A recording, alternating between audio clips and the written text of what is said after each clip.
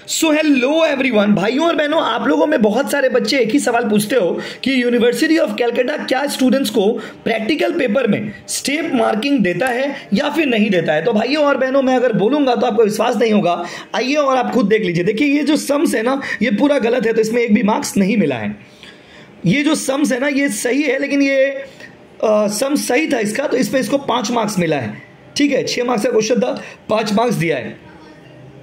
ये क्वेश्चन में थोड़ा सा सही था तो इसमें टू मार्क्स मिला है भाई। ठीक है? इसमें भी टू मार्क्स मिला, क्योंकि सम्स पूरा सही नहीं था, इसीलिए फिर भी टू मार्क्स मिला है। इसमें थ्री मार्क्स मिला, ये सम्स ही पूरा सही नहीं था, फिर भी इसको थ्री मार्क्स मिला है स्टूडेंट्स को। ठीक है भाई? और इस सम्स में भी देख लीजिए आप यूनिवर्सिटी ने दो मार्क्स दिया है पूरा सही ना होने के बाद भी।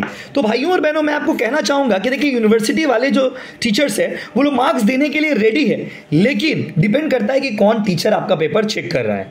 स्टेप मार्किंग डेफिनेटली यूनिवर्सिटी कहता है अपने स्टूडेंट्स को कि थोड़ा बहुत स्टेप मार्किंग दीजिए। बट देखिए, स्टेप मार्किंग प्रैक्टिकल पेपर में तब होता है ना, जब आपका एक सही जगह तक, सही हो आंसर आप सोचोगे कि एकदम टच कर दिए फॉर्मेट बना दिए और हमको मार्क्स मिल जाए, ये प्रैक्टिकली पॉसिबल नहीं है। तो कैसा लगा ये वीडियो कमेंट करके बताना और अगर कहीं ज्वाइन नहीं किए हो तो अपने भाई के पास जल्दी से ज्वाइन करो, मेरा नंबर नोट करो nine eight seven double four double one double five two और वीडियो को शेयर करो चैनल को सब्सक्राइब करो, जल्दी।